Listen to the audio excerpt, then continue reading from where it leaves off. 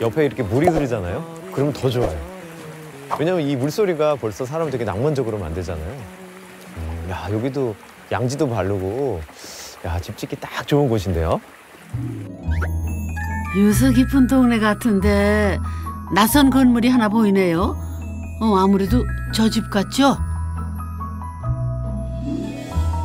그런데 길이 조금 묘합니다. 여기가 입구가 맞나요? 아, 어 분명 저 하얀 집이 맞긴 한데 어 이상하네요. 어, 왜 어, 이- 들어가도 되는 길인가 이게? 입구는 하나인데 집은 두째. 무슨 사연이 있는 걸까요? 어, 어, 안녕하세요. 안녕하세요. 네. 아, 예, 아, 선생님. 아이고. 아니, 혹시 저 뒤에 저 하얀 집 가려면은 선생님 댁 마당을 이렇게 거쳐가야 되는 건가요? 네, 저쪽으로 어. 거쳐서 저 위로 이렇게 올라가셔야 아, 돼요. 그래요? 네. 아, 근데 선생님 댁은 아니고요. 네, 저희 사일집이에요. 아, 저 집이 사이에 네, 네, 아, 예. 그렇구나. 네. 아, 이 주황색 지붕집은 처갓집이고 언덕 위 하얀 집이 사위집이랍니다. 그러니까 처갓집 뒷마당에 사위집을 지은 거죠. 가시죠. 제가 안내해 아, 드릴게요. 예. 야. 이 선생님께서 이 땅을 안 내 주셨으면은 맹, 그렇죠. 맹지가 될 수도 예. 있었던 집이네요. 네네, 그렇죠. 아. 갈 수가 없겠죠. 예부터 사위는 백년 손님이라고 했는데 어떻게 위아래 집을 지어 이웃할 생각을 했을까요? 애들이 아직 안 왔는데 오늘 안 계세요? 아니 금요일마다 오는데요. 오늘 좀 늦네요. 아. 들어가서 기다리셔도 되는데. 아니, 어, 당황스럽네. 아, 저는 계신 줄 알고. 예, 근데 차편 때문에 매, 네. 막히고 이래서 좀 시간은 왔다 갔다 해요. 아, 그래요? 네, 아, 네. 그러면 항상 여기 계신 게 아니군요. 네, 얘네들은 안 있고 저희는 있고 이제 관리도 해주고 있으면서 봐주기도 하고 해요. 이 집은 둘째 딸과 사위가 금요일마다 찾아오는 금요일의 집이랍니다. 오, 주인공들 도착하셨나 보다. 오이고. 라윤아, 할머니. 야, 할머니. 유찬이도 아구 좋았어요. 유찬이 좋았어. 이뻐라. 아, 왔으니까 얘기들 나누시고 저는 애기 아. 데리고 가볼게요. 아, 보통 그러면은 이렇게 애들을 맡아주시는 건가요? 아, 네네 좀 아, 정리하고 그래요? 이러는 동안요. 어, 그래. 아유, 반가웠는데 이따 봐요. 안녕. 안녕. 아, 처갓집에 집을 지은 이유 조금 설명이 되는 것 같은데요? 안녕하세요. 저는 처갓집 옆에 집을 지은 남편 정재윤입니다. 저는 그 집에 주말마다 놀러 오는 아내 박보라입니다. 네, 국내 여행을 많이 다녔습니다. 애들 데리고 기- 차 타고도 여행 가고 기차 타고도 여행을 다니고 각지에 뭐 좀 애들 데리고 갈 만한 데는 다 가본 것 같아요. 주말마다. 그러다 코로나19로 갈 곳이 없어지면서 처갓집을 찾기 시작했답니다. 하지만 에너지 넘치는 아이들 때문에 하룻밤 잡고 가기가 쉽지 않았다지요. 한 집에 그냥 복닥복닥 있는 것보다 여기다가 집을 져놓고 하면 저희도 좀 더 편하고 자기네들도 좀 더 편하게 있을 수 있고 그래서 이제 얘기가 나왔다가 급속도로 진행이 되면서 집을 짓게 된 거예요. 결국 여행을 준비할 때 짐을 빼놓지 않게 애들 용품이랑 해서 싸야 되는데 여기는 저희 집이니까 그냥 몸만 오면 모든 게 다 다 준비돼 있고 그래서 편하게 왔다 갔다 할 수 있다 보니까 가족에 충실할 수 있으면서 내 시간도 같이 갈 수- 같이 보내 편안하게 보낼 수 있는 그런 집입니다. 장인 장모님은 손주들 자주 봐서 좋고 딸 사위는 육아에서 해방되는 금요일의 집. 그런데요, 이 집 모양이 독특하죠. 벽이 공중에 떠 있어요. 근데 집이 어, 마치 배 앞모습이 좀 연상이 되고 근데 그 배도 아주 옛날 배 있잖아요. 네. 이순신 장군이 타고 다니던 판옥선? 오, 판옥선? 어, 있다 있어. 금방이라도 하늘로 날아오를 것 같은데요. 되게 특이하게 생긴 그런 도전적인 거. 왜냐면 저희가 여기서 365일 살 계획이 전혀 아니었기 때문에 그냥 좀 더 재밌게 좀 희한하게 게- 집 같지 않게 갤러리 같이 리조트 같이 여행 온 기분을 느끼고 싶어서 예, 그 점이 가장 컸던 것 같아요. 깔끔한 외관 때문에 카페인 줄 알고 커피 사러 온 사람들도 있었다네요. 글쎄. 아이고. 집 내부는 어떨지 궁금해지는데요. 금요일의 집답게 공용 공간이 집의 중심인데요. 현관 왼쪽에 있습니다. 오, 어, 내부가 온통 하얗네요. 네. 군더더기 없이 깔끔한 내부에 디귿자형 창이 인상적이네요. 특이하게 이 보통 한 면이 크게 창이 나 있는 경우가 많은데 이렇게 삼면이 다 어, 이렇게 유리로 다 둘러져 있고 어, 심지어 이제 좌우 대칭으로 이렇게 만드셨어요. 네. 그런데 삼면을 통창으로 해놓고 데크 공간 앞에 벽을 세워 가렸습니다. 왜 그랬을까요? 여기를 전부 디귿자로 유리를 하기 어려운 것 중에 하나가 건물 하중을 견디려면 여기 기둥처럼 크게 내력벽이 있어야 되는데 저희는 사실상 내력벽을 이렇게 기둥을 빼면서 내력벽이 저쪽에 있는 거죠 데크 네. 쪽 바깥쪽으로 그래서 여기는 사실상 유리가 그냥 끼워져 있는 거고 음. 위에 떠 있는 벽이 대들보 역할을 그리고 데크 앞 벽이 기둥 역할을 하는 거랍니다. 이게 다 삼면을 통창으로 하기 위해서였다는데요. 덕분에 실내 같은 야외 공간이 생겨났습니다. 저희는 데크도 거실의 연장이라고 생각을 해서 그 데크 뒤쪽 벽에 조명도 좀 집과 어울리는 조명으로 달았어요. 이 집은 삼면을 통창으로 하고도 커튼을 치지 않았는데요. 이 벽이 시소들 차단해 주기 때문이랍니다. 여름에는 차양막 효과까지 사실상 집안의 커튼 역할을 하는 거죠. 또 밤이면 스크린으로 변신을 하는데 남편 재윤 씨의 특별한 불멍 장소랍니다. 이게 제가 저쪽 내려가서 보니까 이게 집에 불난 것 같이 보여서 아 이거, 이거 소방차 출동할 것 같아서 요즘은 좀 자제를 하고 있어요. 아, 아, 아 까 되게 와닿았는데 아, 그럴 수도 있겠구나. 아이고 이거 신박하다. 동네 분들 이거 진짜 불 아니랍니다. 이쪽에서 바라보는 풍경도 참 어, 좋아요. 그래요? 네, 이쪽에서 보시면 산등성이와 하늘이 같이 보이는데 참 예쁘고 와. 제가 액자 속에 있는 것 같은 느낌이 들기도 하고 참 예쁩니다. 아니, 동양화 같은데요. 네. 정말. 어, 한 폭의 수묵화 같다. 대들보와 벽이 긴 액자를 만들어냈네요. 이렇게 짓고 나서 저 풍경을 더 알게 된 것 같습니다. 아, 그 건축하시는 분이 많이 그래도 도움을 주신 거네요. 네. 음. 건축가는 또 이 집에 홍천의 하늘을 담고자 했다는데요. 평범한 매립 등을 흐드려 놓아서 별자리처럼 만들었고요. 색 온도를 다르게 한 조명으로 구름을 표현했답니다.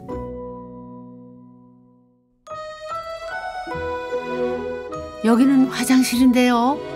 천장을 덮는 일명 바리솔 조명을 써서 마치 하늘로 뚫린 듯한 신비한 분위기를 연출했습니다.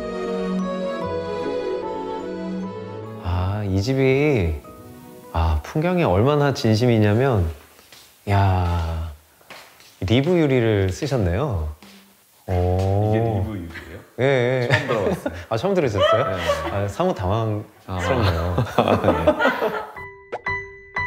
그러고 보니 일정한 간격으로 유리가 끼워져 있네요. 이건 왜 필요한 건가요? 이게 바람이요.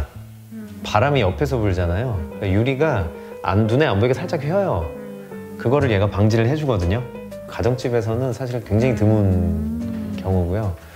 어, 이거를 이제 설계하시거나 시공하신 분이 그 풍경에 대해서 가리게 안 해드리려고 요거를 특별히 적용을 한 것 같고 요게 요렇게 알루미늄이라고 생각을 해보시면 굉장히 다를 거예요. 그렇게 최대한 시야에 방해 없이 드리고 싶었던 풍경 같이 감상해 볼까요? 나무에 조예가 깊은 장인어른 덕에 정원수가 잘 가꾸어져 있는데요. 여기서 소나무의 멋을 처음 알게 됐답니다. 이 집을 짓고 여기서 이렇게 계속 한 풍경을 바라보는 시간을 제가 보내보다 보니까 이 나무 하나하나가 가지는 그 모양이 이게 되게 멋있는 거구나, 되게 예쁜 거구나 그런 생각을 처음으로 느끼게 됐습니다. 이 집을 짓고 제가 이제 그런 가치를 누릴 수 있는 사람이 된 것 같습니다.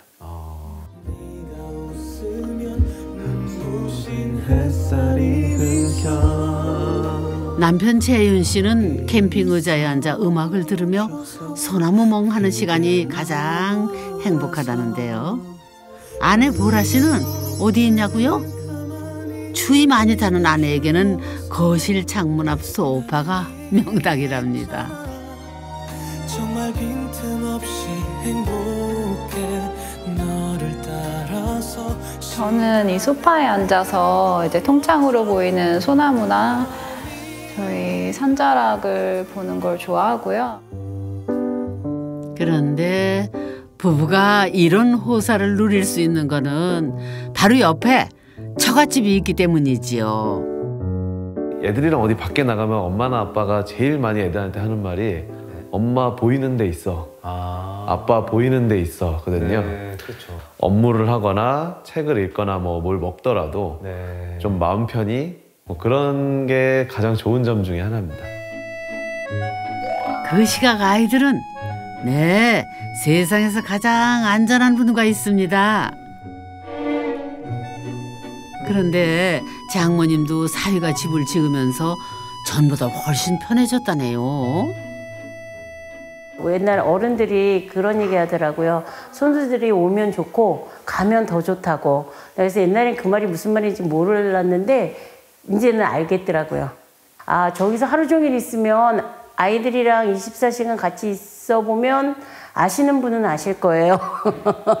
너무 이쁜데 근데 지금 혼자 있고 싶을 때도 있, 있거든요. 그러면 있으면 또 보고 싶으면 데려다가 또 보고 이러면 되니까 그게 좋더라고요. 이렇게 매주 처갓집만 찾아오면 본가 어른들이 좀 섭섭해하지 않을까요? 저희 어머니가 했던 말이 그대로 워딩을 하면 넌 정말 내가 상상도 못한 도깨비 같은 일을 항상 벌이는구나. 본가는 서울 토박이라 쌍수 들고 환영을 했답니다. 아예 추석 명절은 여기서 지내기로 했다죠. 만약에 이게 없었으면 한 1년에 한 번 뵐까? 한 5년에 한 번 뵐까? 뭐 이럴 텐데 그래도 이 집이 있어서 사돈 어르신들을 1년에 한 번씩은 꼭 뵐 수 있어요. 그래서 좋더라고요, 저는요. 자, 그러면 이제 나머지 공간도 탐구해 볼까요? 현관 오른쪽으로 부부 침실과 아이 방이 쌍둥이처럼 마주보고 있는데요. 이 공간의 핵심은 바로 그 방으로 가는 복도에 있습니다. 방으로 가기 전 하늘을 보고 갈 수 있도록 천창을 냈고요.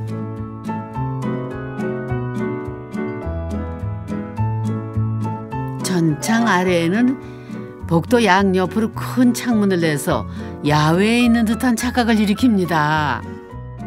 오, 여기가 그러니까 거실에서 지금 이제 침실로 가는 이제 중간 영역인 거죠? 네.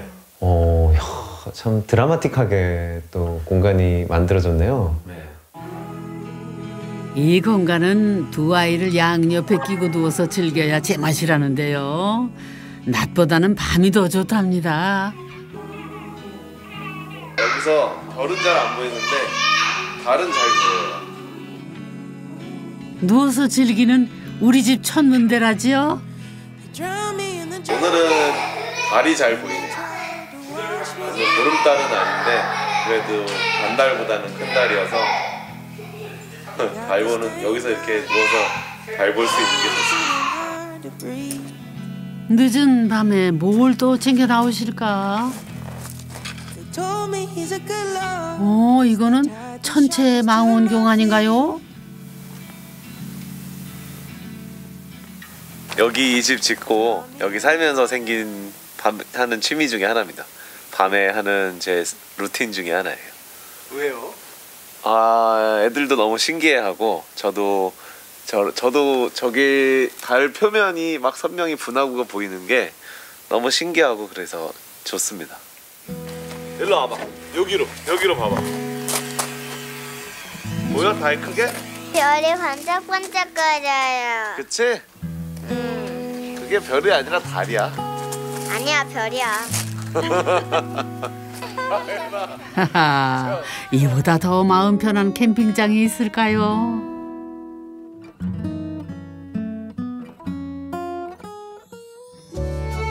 이제 마지막 공간 부부의 침실입니다.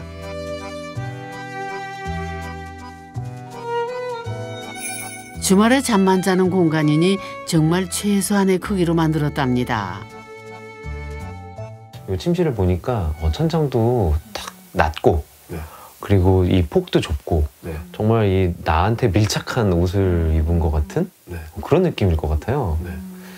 네. 어, 음. 잘 때는 이렇게 좀 밀착한 느낌으로 있는 데서 네. 잠이 또 잘 오는 것 같아요. 예. 그래서 아침에 일어나질 않아요. 아 일어나질 않아요? 네. 그렇지 않아요. 사실 사실과 전혀 다릅니다. 아, 아까 지금 막 저기 누워 있을 때는 굉장히 자상한 아빠였는데. 아, 굉장히 사실과 다르고 제가 누워 있으면은 네. 그걸 내비두지 않죠. 애들. 아 내비두지 아 애들이. 네. 이 나이 때 아이들이 얼마나 힘이 넘쳐나나요. 근데 아빠가 더 좋아하는 것 같은 느낌적인 이 느낌은 그냥 제 느낌인가요? 여기 와서는 제가 시계를 아예 보질 않거든요. 정말로 해가 지고 뜨는 걸 보면서 시간을 대강 아는 거지.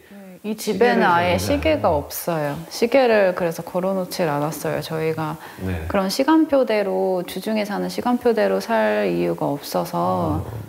말 그대로 여기서는 배꼽 시계로 시간을 알거든요. 아 내가 배고픈 거 보니 뭐 먹은 지 좀 됐구나. 네 시간은 됐구나 하는 게 알게 되는 거라서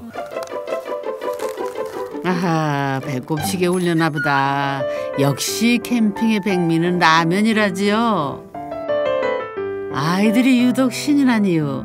라면은 오직 이곳 금요일에 집에서만 먹을 수 있답니다.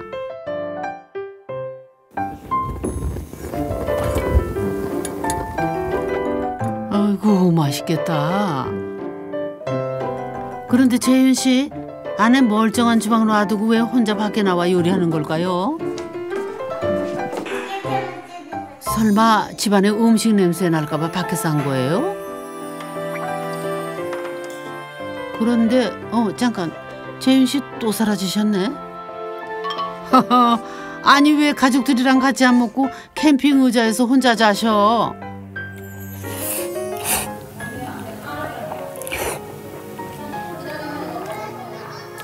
안에서는 항상 먹을 수 있는 건데 이렇게 야외에서 라면 뭐 이런 거 먹으려면 어디 놀러 가야 가능한 거잖아요. 아, 라면이나 이런 거는 이 바깥에서 먹어야 추울 때 좀 으슬으슬해질 때 바깥에서 먹어야 이게 더 맛있는 것 같아요. 여기에 냉장고에 집에는 냉장고에 뭐 애들 반찬이나 남은 것들도 막 있고 한데 여기는 그야말로 좀 냉장고가 좀 깨끗하게 하하 이거 가정집 냉장고가 아니네. 야 이거 전부 간편식 아닌가요? 주중에는 먹을 수 없는 캠핑집의 맛이랍니다.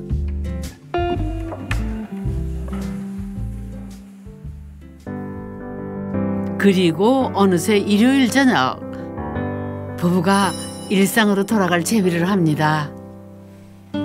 집에 갈 준비하고 있습니다. 설거지하고 청소하고 이제 체크아웃 할 시간이죠. 아 이렇게 항상 해놓고 가세요?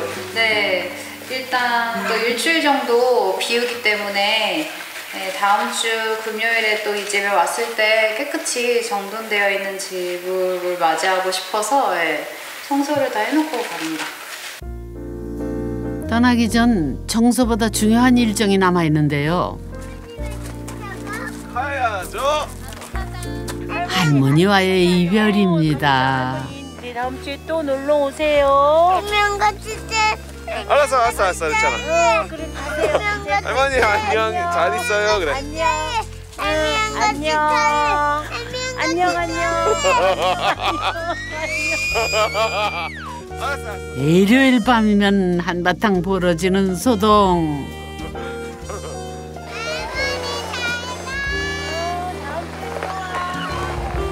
헤어짐이 있기에 만남이 더 반갑고 월화수목 금요일이 있기에 주말이 더 소중한 거겠죠. 이번 주도 우리 모두 파이팅 합시다.